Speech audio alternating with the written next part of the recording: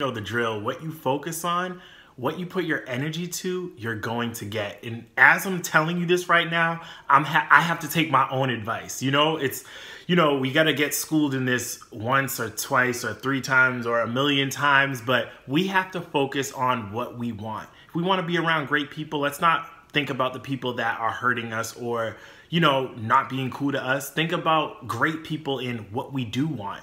What we think about, we attract.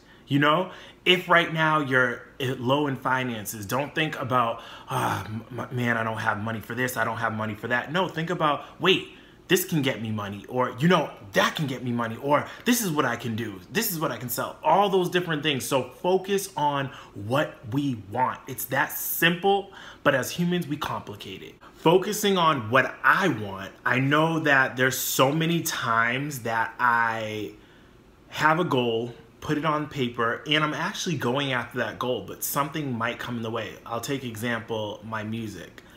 People that know me know I write and I sing music, and I've been doing it for a while now. But somehow, someway, I might get too busy or sidetracked or something came up in the past and it got put on the back burner. Not no more. You know why? Because I'm focused on my goal. So I have my goals written down. I'm focused on what I want that doesn't mean obstacles will not come up when it comes to music or anything else. But since I have the end goal in mind and I'm going to be focusing on what I want. So, for example, what I want as a musician is to be an artist, to put my music out there and change the world and be paid amazingly for it. That's the goal, you know? So, anything that comes in the way that says, like, that tries to take me off that goal, I'm not looking that way. I'm not focusing on that.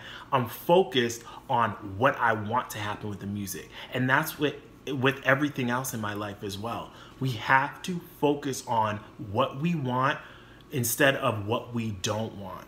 All right? Your focus is everything.